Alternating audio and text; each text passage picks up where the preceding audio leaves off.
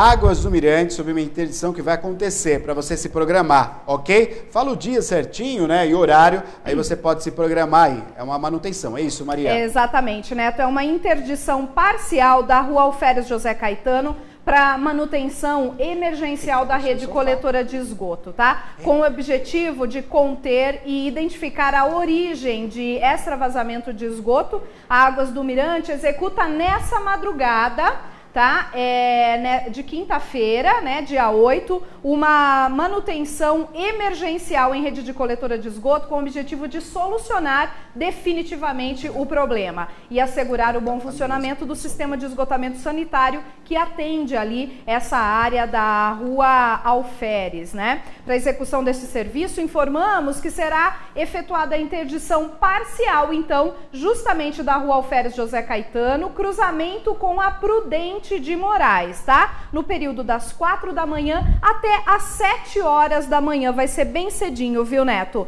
Sobre a coordenação de trânsito, né, da Semutran, a Secretaria Municipal de Trânsito e Transportes e fiscalização também do SEMAI. A Águas do Mirante informa que o projeto será executado neste período, né, bem cedinho, das 4 às 7, com o objetivo de não afetar justamente o tráfego intenso nessa região Perfeito. bem central, né? E alerta, né, que a conclusão da obra depende exclusivamente da ausência de precipitações e condições do solo em questão. A concessionária solicita aos pedestres que evitem, então, percorrer o perímetro das obras e conta com a cautela e compreensão de todos os motoristas que trafeguem pelas imediações. Música